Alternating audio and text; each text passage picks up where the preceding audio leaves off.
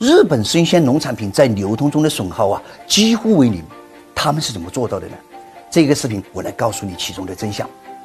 在日本呢，生鲜农产品在流通中的损耗仅为百分之一到二，而在咱们中国呢，流通中损耗达百分之二十到三十。数据显示啊，在中国农产品交易流通过程当中，一年的损耗量达到了上亿吨，价值达到了三千亿人民币。通过这一个视频呢，了解一下日本的做法，你就能够找到问题的根源了。建议你点赞收藏或者下载下来慢慢来看。第一个呢，就是在日本农产品是在产地进行分级品控的。日本的农场的水果蔬菜在采摘过后，农户在田间地头就进行初级的分级分拣。这一个环节啊，虽然是由农户自己来完成，但是产品的品控标准必须按照农协所提供的标准来。对于不符合要求的农产品，在第一个环节就被处理掉了。此举啊，大大的提升了流通的效率，减少了后端分级分选的压力。第二个方面呢，就是专业的预冷。分级过后的农产品呢，农户会把它送到附近 JA 农协的预冷工厂，第一时间进行预冷，确保农产品的品质安全。对于保障农产品在后续的流通啊，至关重要。一个农协的预冷工厂可以覆盖周边二十公里的农场，周边的农产品采摘过后，都会第一时间送到这里来预冷。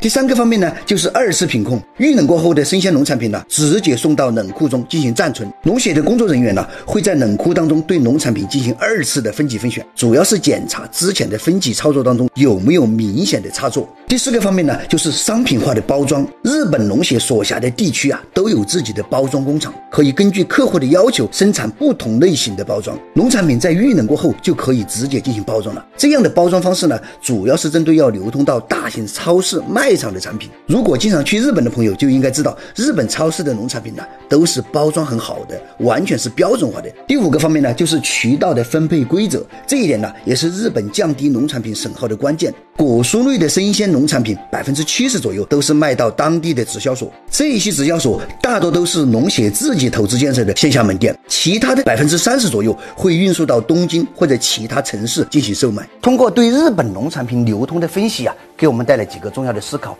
第一，降低农产品损耗的关键环节，其实在产地端的第一公里，在这个环节做好农产品的分级和品控。非常重要。对比今天的中国，产地供应链做得好的产区啊，他们的农产品不仅仅损耗低，而且还能卖出一个高价钱。第二个方面呢，就是流通过程的标准化，用标准化的周转箱来单元化的存储啊，可以有效的解决农产品流通过程中的诸多问题。目前呢，中国农产品在流通过程当中，周转箱的使用率啊非常低。周转箱的标准化会直接影响到存储、装卸、验货、交易等各个环节。当然呢，还有诚信问题。在中国，同样是装箱，里面往往会存在着以次充好，这会导致每一次的流通交易啊都会打开来检查，那必然会带来各种的损耗。这一点呢，日本就不一样了。日本农产品的包装上面不但有名称、产地、生产日期、价格，还有农户的姓名和家庭信息。如果你在产品里面出现了以次充好，可能会发的你个倾家荡产。第三个方面呢，就是要在问题当中去寻找商机。中国一年有上亿吨的生鲜农产品损耗，谁去解决其中的一个问题，就可能迎来全新的商业机会。今天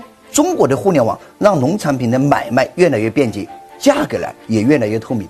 但是，如何降低农产品流通过程的损耗，这是个大问题。希望日本农产品流通的模式能够给大家带来全新的思考。好了，点赞关注黄老师，带你获得不一样的商业思维。